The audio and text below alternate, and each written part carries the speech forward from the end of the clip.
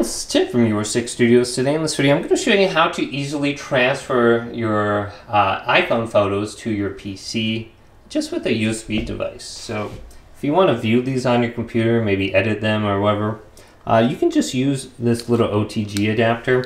So I bought this online for like three bucks.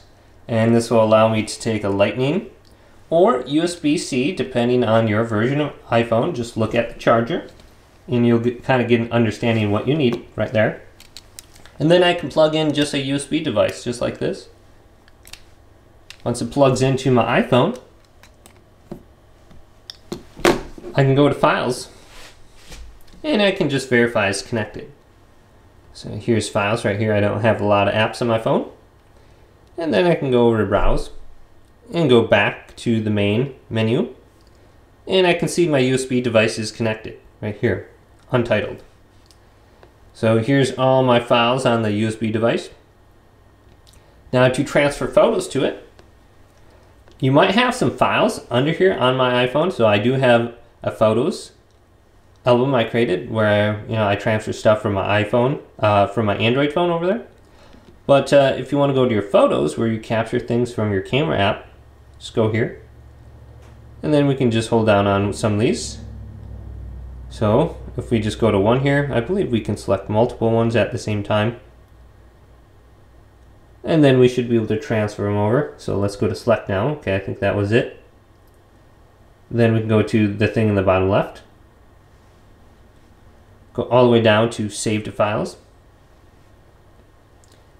Let's go back to the main menu here. Choose your USB.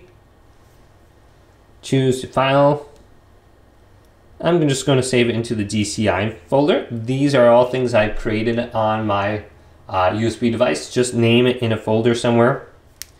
You can go up the top right here and you can create a new folder for yourself and you can save your photos in there. I'm just saving them into DCIM because I transferred all my photos over just by copying all the folders on my Android phone. So that's why I have all those different folders on there. And I'm going to save it onto here. And that's the location for me. Now if I go back, I should be able to find these under files now. Here it is, under untitled. I'll be in this folder now. Way at the bottom. Now all I have to do is take this and plug it into my computer. And it should pop up for me if it's a Windows computer, the File Explorer. I can drag those files wherever I want on my computer. And then I can start editing them. So very easy to do. Hopefully this video did indeed help you out. If it did, leave it a big thumbs up and subscribe my channel down below.